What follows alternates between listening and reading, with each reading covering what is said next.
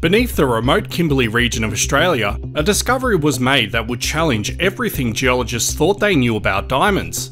The Argyle mine unearthed not only some of the world's rarest pink diamonds, but also revealed these treasures in an unexpected host rock, lamproite, a volcanic rock long dismissed in diamond exploration. This revelation expanded the boundaries of geological theory, forcing experts to reconsider how and where diamonds could form, Argyle didn't just produce diamonds, it redefined a future of diamond mining, introducing a new frontier of exploration and igniting a global demand for its stunning coloured gems. This is the story of how Argyle transformed an entire industry. The Argyle Diamond Mine, located in the East Kimberley region of Western Australia, is renowned worldwide for its production of some of the rarest and most valuable diamonds, particularly its iconic pink diamonds. Since its discovery in the late 1970s, Argyle has transformed our understanding of diamond geology, challenged prevailing theories about diamond formation, and introduced new mining techniques to the industry. Though the mine ceased its open pit operations in 2020, its geological significance, economic contributions, and the uniqueness of the diamonds it produced continue to resonate throughout the diamond industry and beyond. This video explores the geology, significance, formation, and mining of Argyle diamonds, focusing on what made the mine a global phenomenon. The Argyle diamond deposit is geologically unique, particularly because its diamonds are hosted in lamproite, a volcanic rock rarely associated with diamond deposits. Traditionally, kimberlite, another ultramafic volcanic rock, was considered the primary host for diamonds. Argyle challenged this conventional wisdom when diamonds were discovered in the AK1 lamproite pipe in the late 1970s. The discovery not only expanded the geological model for diamond exploration, but also opened up new possibilities for discovering diamonds in similar volcanic environments around the world. The Argyle lamproite pipe formed roughly 1.2 billion years ago, during the Proterozoic Eon. This volcanic pipe or diatreme is a rare type of volcanic eruption that are incredibly fast and violent, with magma rising from deep within the Earth's mantle at speeds of several hundred kilometers per hour. Unlike typical volcanic eruptions, Lamproite and kimberlite pipes are not associated with large magma chambers. Instead, they form from rapid bursts of gas-rich magma propelled directly from the mantle. The high concentration of volatile gases such as carbon dioxide and water vapour expands as the magma ascends, creating explosive forces that push the material to the surface in a matter of hours or even minutes.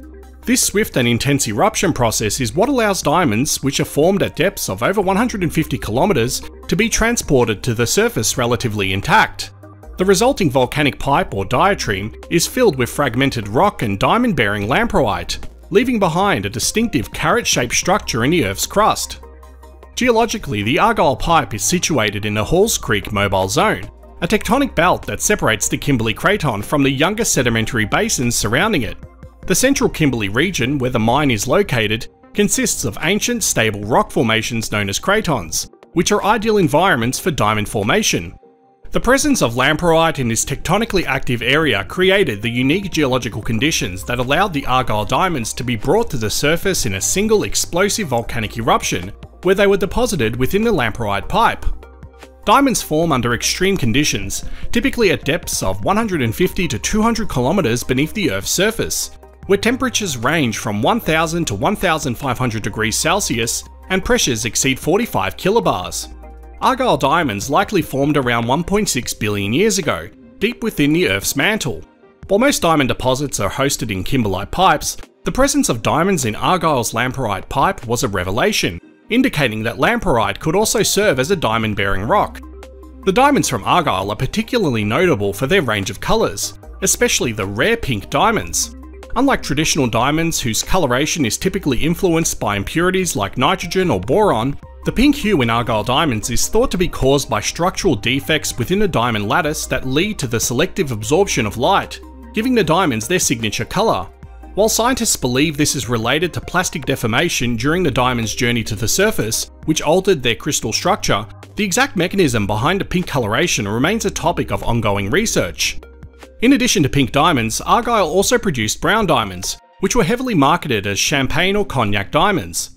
These brown diamonds make up the majority of Argyle's output and were crucial in making the mine economically viable. Their coloration is also linked to structural defects, similar to the process that creates pink diamonds. although the specifics of brown coloration differ slightly in terms of the types of crystal deformations involved. Blue diamonds were also found at the Argyle Diamond Mine, though they were extremely rare. The primary focus of Argyle has always been its production of pink diamonds, but occasional blue diamonds have been discovered. These blue diamonds are prized for their rarity and beauty, similar to the pink diamonds, but their occurrence at Argyle was much less frequent. The blue coloration in diamonds typically results from the presence of boron within the crystal lattice, which causes the diamond to absorb red, yellow, and green light, giving it a blue hue. The discovery of the Argyle Diamond Mine in 1979 came after nearly a decade of geological exploration in the remote Kimberley region of Western Australia. In the late 1960s, geologists began investigating the area based on geological similarities to known diamond bearing regions in southern Africa, the breakthrough came in 1979 when two diamond crystals were found in a sample of stream gravel from Smoke Creek, leading geologists upstream to the source, the AK1 lamproite pipe. This opened up new possibilities for diamond exploration and eventually led to the establishment of the Argyle mine, which would become the world's largest producer of diamonds by volume. Mining at the Argyle Diamond Mine began with the extraction of alluvial diamonds found in the stream gravels of Smoke Creek, which had eroded from the AK1 lamproite pipe over millions of years.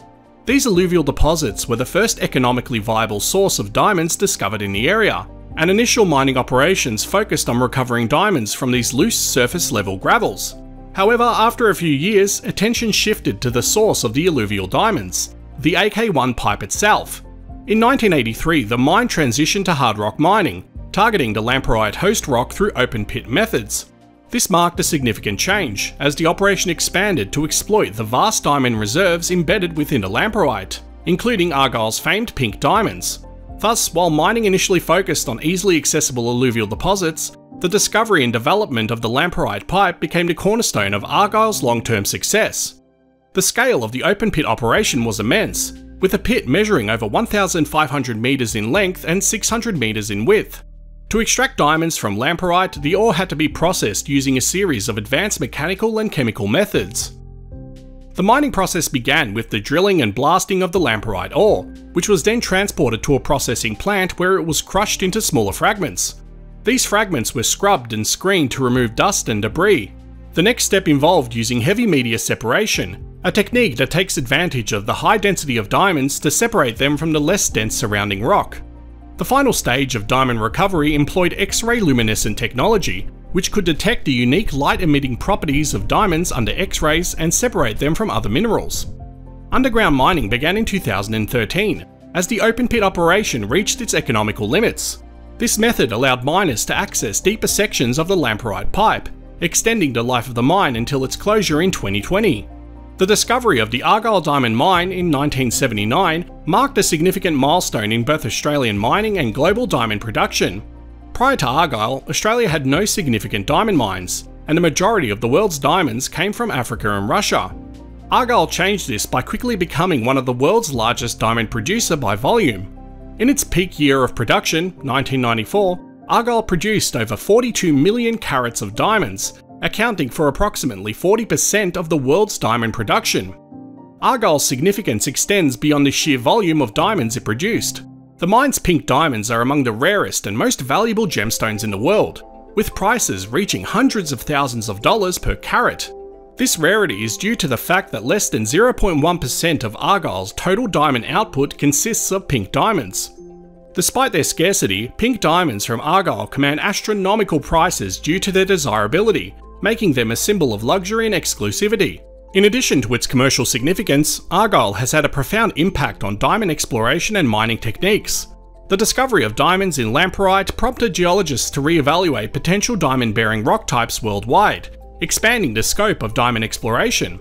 Argyle also set a new standard for large-scale diamond mining, employing advanced ore processing techniques to handle the vast quantities of rock required to extract diamonds economically. Although the Argyle mine ceased operations in 2020, its legacy endures through the diamonds it produced and the geological discoveries it inspired. The mine's pink diamonds remain some of the most sought after gemstones in the world, symbolising luxury, rarity, and beauty. Beyond its commercial success, Argyle expanded our understanding of diamond geology, proving that lamproite, in addition to kimberlite, could host economically viable diamond deposits. It also revolutionised diamond mining techniques, setting a standard for future operations around the world. The Argyle Diamond Mine represents more than just a source of valuable gemstones. It is a demonstration to the ingenuity of modern geology and mining, and a lasting symbol of Australia's mineral wealth. The Argyle Mine will continue to stand as a benchmark for scientific discovery, responsible mining, and a timeless allure of diamonds. I hope you found this topic as interesting as I did, and as always, thanks for watching.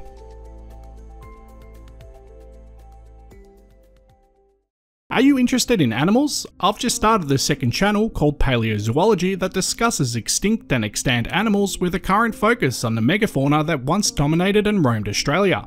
I'd love to have you along for the journey as more videos are released. You can find a link to this channel in the description and in the pinned comment in the comment section. Before I end this video, I'd like to give a big shout out to my Patreon and YouTube members. Thank you so much to everyone that helps to support this channel.